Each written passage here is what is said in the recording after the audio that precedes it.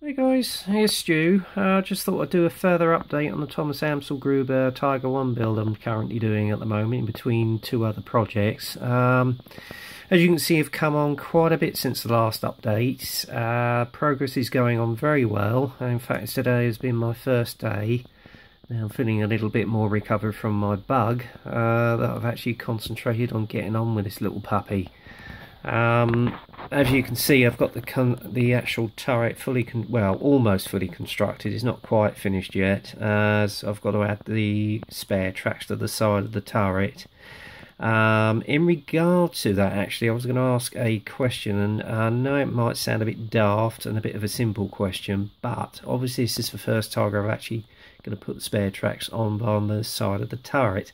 Would it be better for me to wait until I've painted it to put them on or should I do it whilst I've got on there? So if anybody could let me know, I'd be very, very grateful. All right. And that would actually so, um, sort of wrap up a little mystery for me because I'm not quite sure if it's going to be harder for me to paint the tracks whilst they're on the side of the turret or would it be better to add them after I've painted the vehicle? Anyway, as I say, let me know on that one, guys, okay? Um, other than that, um, it's been a bit of a busy afternoon for me on this little baby. Um, I'm thoroughly enjoying it still. Um, as you can see, I've basically got the cupola in position, which unfortunately, if I take it off, was a bit of a nightmare to be honest. Um, building it and assembling it was fine.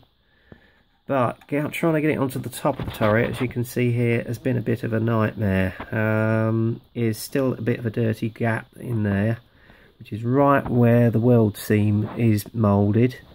Don't know if anybody can see that, because uh, I'm trying to get this little bugger to focus. I think you can just about see that.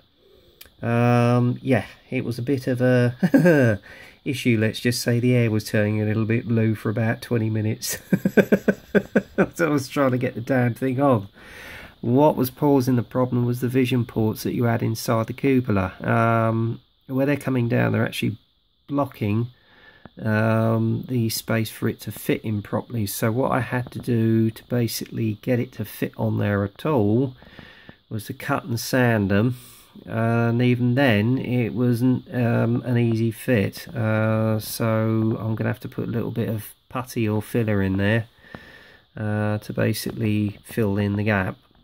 But other than that once I'd actually finished with that issue um, the assembly of the rest of the turret was pretty straightforward.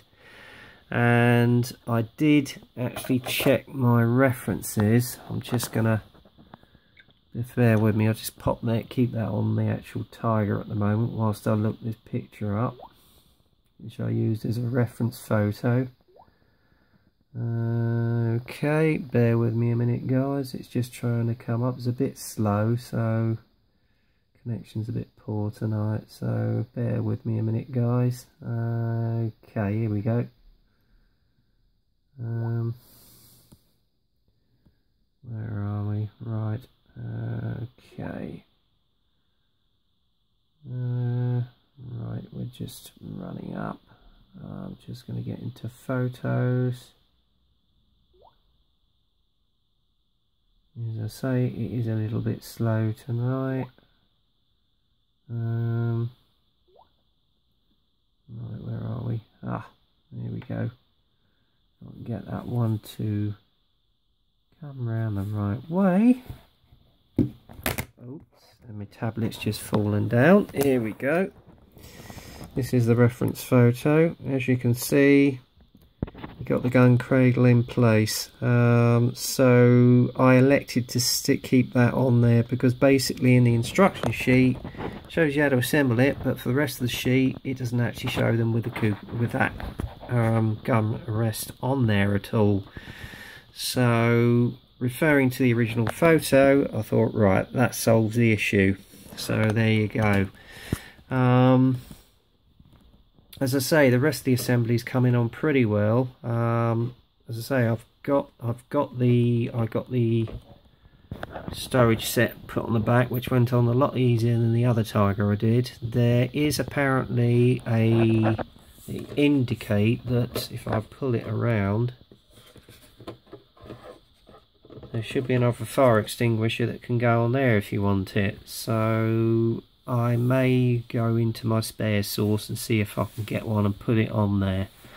And I've tried to get the actual loader's hatch to sit a bit more flush. Um, I did sand it down a little bit. I think I may have gone a little bit overboard on that and uh, it's left a little bit of a gap. So again it's not an issue because I can just put some putty or filler in there and just go over the Zimmerit and just basically go over it with a knife. And there you are. Hey presto Bob's your uncle so that'll be done. Um, again as you can see I've got all the etched brass on the metal the engine grill. So that's all there. Tow ropes are all in place as well as the tools and little ammunition pack at the big at the top there at the front.